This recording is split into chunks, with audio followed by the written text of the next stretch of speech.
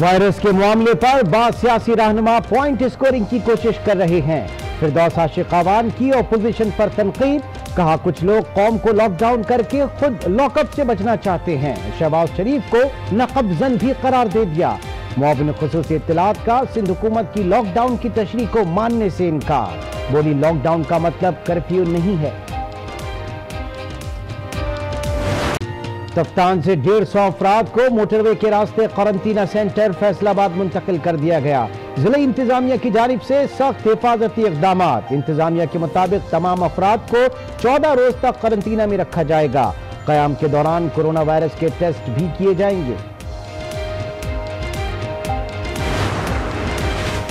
اسلام آباد کے علاقے بھارا کہو سے مشتبہ کیسز سامنے آ گئے۔ پولیس کا بھارا کہو، کوٹ ہتھیال اور دیگر گرد نواح میں مکمل لاک ڈاؤن کا فیصلہ۔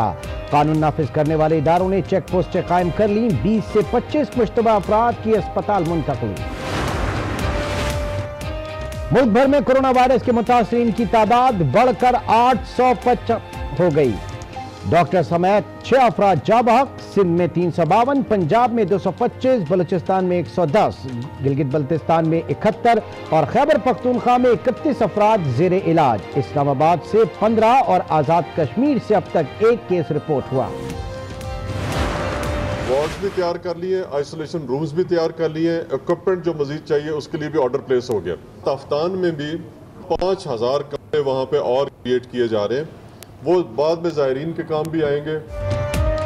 بلوچستان حکومت کا تفتان بارڈر پر پانچ ہزار کمرے بنانے کا اعلان، پچاس ہزار ایکڑ زمین حاصل کر لی گئی۔ چیف سیکرٹری بلوچستان فضیل اصغر کا انکشاف۔ ایک دن میں ایک ہزار افراد کا ٹیسٹ کرنے کی کوشش کریں گے۔ عوام سے گھروں میں رہنے کی بھی اپیل۔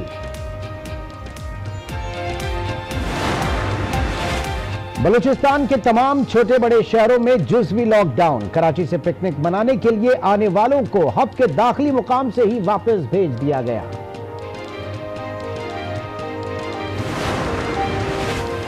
سندھ میں پندرہ روز کے لیے لاک ڈاؤن جاری۔ کراچی میں صوبائی حکومت کے احکامات پر مکمل عمل درآمد نہ کرایا جا سکا۔ گلی محلوں میں لوگوں کا ہجوم خلاف ورزی پر شہریوں کو مرغا بننا پڑا۔ ڈنڈے بھی کھانے پڑے۔ جکب آباد کشمور، کندکوٹ اور شکارپور کے بازار اور کاروباری مراکز بند۔ لاڑکانہ میں لاک ڈاؤن کی خلاف ورزی۔ مختلف علاقوں سے چالیس افراد گرفتار، سکھر سے سو سے زائد شہری گرفتار۔ سات کے خلاف مقدمہ درج، ہوٹل کھلا رکھنے پر بدین میں باپ بیٹے کے خلاف مقدمہ درج۔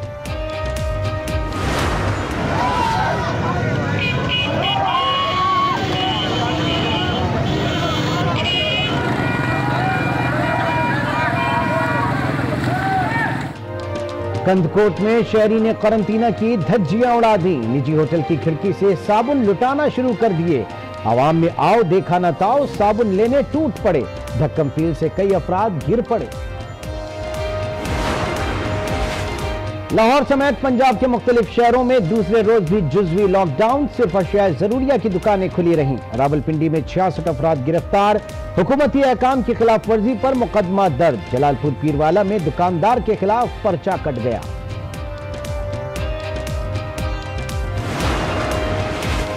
خیبر پختونخوا میں تین روزہ لاک ڈاؤن کا دوسرا روز۔ ضلعوں کے درمیان چلنے والی پبلک ٹرانسپورٹ سات روز کے لیے معطل۔ پشاور میں سڑکوں پر ٹریفک نہ ہونے کے برابر، شہر میں جراثیم کش اسپرے آرمی چیف کی زیر صدارت خصوصی کور کمانڈرز کانفرنس کورونا سے پیدا ہونے والی ملکی صورتحال کا جائزہ۔ پاک فوج کے تمام جوانوں اور میڈیکل وسائل کو تیار رکھنے اور مختصر نوٹس پر سول انتظامیہ کی مدد کے لیے تیار رہنے کا ٹاسک دے دیا گیا۔ جنرل قمر جاوید باجوہ کہتے ہیں پرعزم اور ذمہ دار قوم کو کوئی چیز شکست نہیں دے سکتے۔ وزیر اعظم عمران خان نے وفاقی کابینہ کا اجلاس بدھ کو طلب کر لیا۔ ریلیف پیکج کی منظوری کا امکان۔ کورونا کے بڑھتے خطرات پر کابینہ کو بریفنگ دی جائے گی۔ قانونی مقدمات نمٹانے سے متعلق کابینہ کمیٹی کے فیصلوں کی توثیق بھی ہوگی۔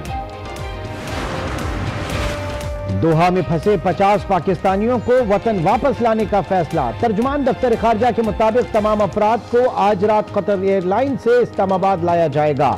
بینکاک میں بھی باون پاکستانی پھنسے ہوئے ہیں۔ وطن لانے کے لیے سول ایویشن کی مزدوری کا انتظار۔